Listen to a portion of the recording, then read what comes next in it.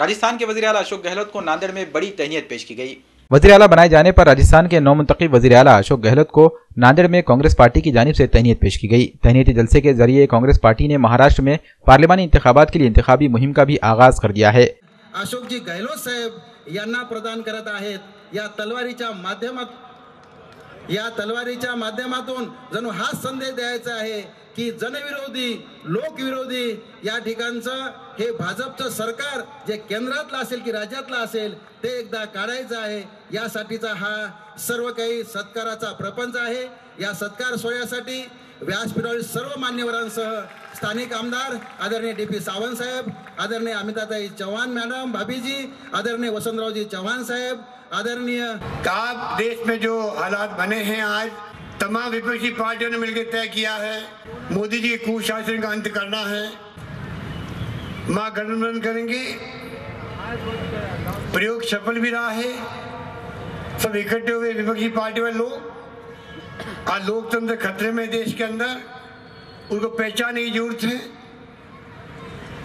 संविधान खतरे में है किस प्रकार से घृणा का माहौल है, नफरत का माहौल है, हिंसा का माहौल है लीचिंग के नाम पर निर्दोष लोग हत्या हो जाती है।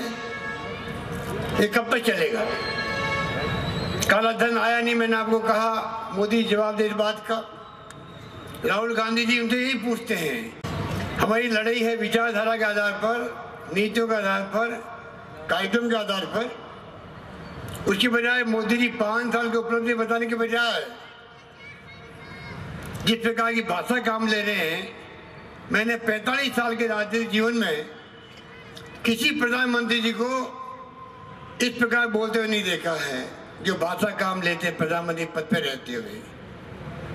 कैसे आरोप लगाते हैं। किस प्रकार की शैली काम लेते हैं? किस प्रकार का मैनेजमेंट करते हैं प्रचार का, प्रसार का मीडिया के अंदर? ये सबको मालूम हो गया। धीरे धीरे पोल खुल चुकी है। किसी भी नागरिक को प्रधानमंत्री झूठ बोले, असत्य बोले, ये कभी पसंद नहीं हो सकता है।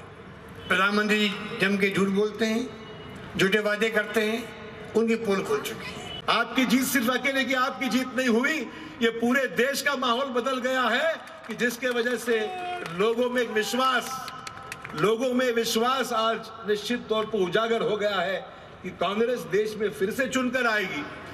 कांग्रेस देश में चुनकर आएगी, कांग्रेस महाराष्ट्र में चुनकर आएगी और कांग्रेस जो जो राज्यों में अभी चुनाव होने वाले हैं, वहाँ कांग्रेस चुनकर आएगी।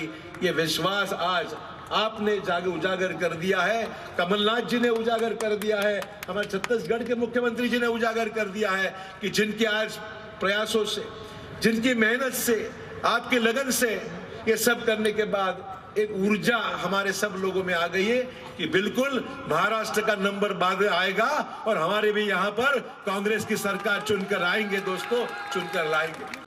और गुजरात मॉडल की बात होती थी मोदी जी कहते थे गुजरात में जाकर देखो। और अशोक गहलोत जी जब गुजरात गए तो मोदी जी का जो गुजरात मॉडल था मोदी जी जो बात करते थे मोदी साहेब सांगायचे माझ्या गुजरातमध्ये येऊन पहा. आमचा हा नेता गेला गुजरातमध्ये आणि वाट लावली मोदींची.